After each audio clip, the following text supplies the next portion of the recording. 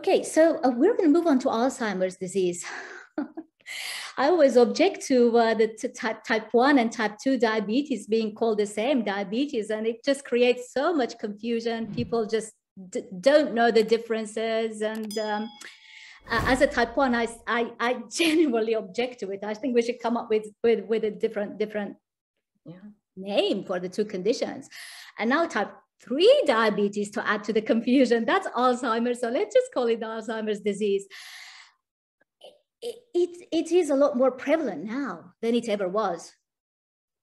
Am, yes, am I right? And it's, yeah, it's, I don't remember as many d- d- elderly people with dementia around me. Um, I would say maybe 50 or 40 years ago. I don't remember. When I was a child, I d- do not remember. Maybe people died earlier at an earlier age. I, I don't know. So, what do we know so far about Alzheimer's? Yeah, you're you're right. I think part part of the reason why there's it, it's there's more of it now is um, the the baby boomer generation. We have more older people now. We have a greater number of people reaching older age, but it's um it is becoming more prevalent regardless because it's affecting people at younger ages now. This isn't exclusive to the elderly people. So something is changing in the diet and the environment somewhere that people are being afflicted now in their 50s and 60s. You know, this used to be we would say, oh, grandpa's getting senile or that. And it's it's happening ever younger now. And I want to kind of set the stage for this by saying, you know, you started off saying we could talk about each of these conditions separately. And I do think that epilepsy is separate.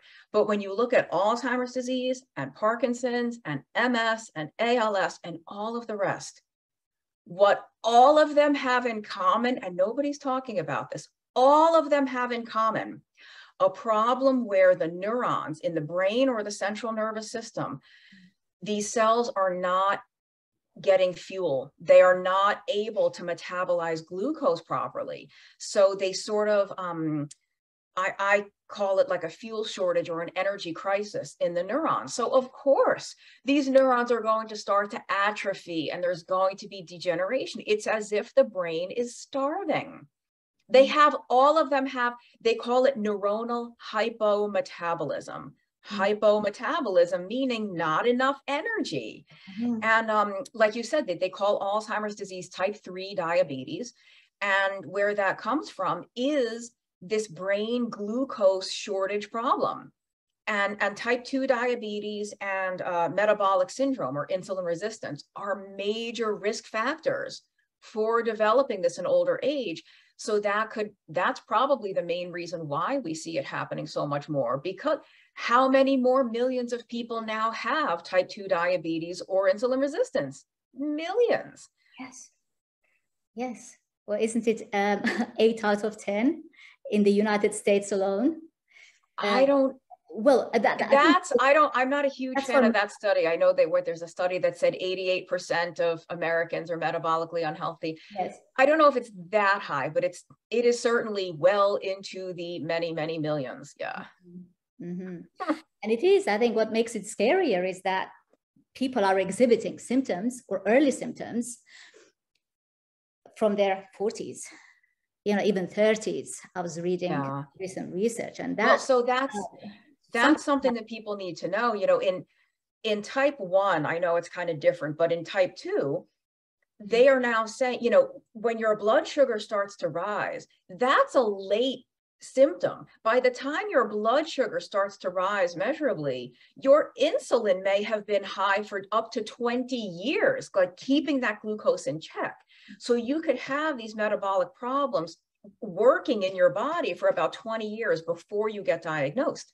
And in Alzheimer's, when I said the brain is not taking up and using glucose properly, this is measurable in people in their 30s and 40s people who are at risk, who have a certain gene or have a family history, they can see that in people at that young, the brain is already not taking up and using as much glucose as a healthy person's brain. But those people don't have any signs and symptoms. They're still healthy enough. The brain is compensating, but it, it's only when the problem is so severe and widespread that the it's not able to compensate anymore that's when you start showing the problems but it's that doesn't happen overnight. It's not like one day you woke up and all of a sudden had alzheimer's. This problem grows very very slowly for a long time until it reaches that tipping point where you st- and but that's what people need to know. This isn't the time to prevent it or i the way to say it really is to reduce risk because we don't know for certain that we can prevent it. The time to start reducing your risk is now is at as young as you can mm-hmm. mm-hmm.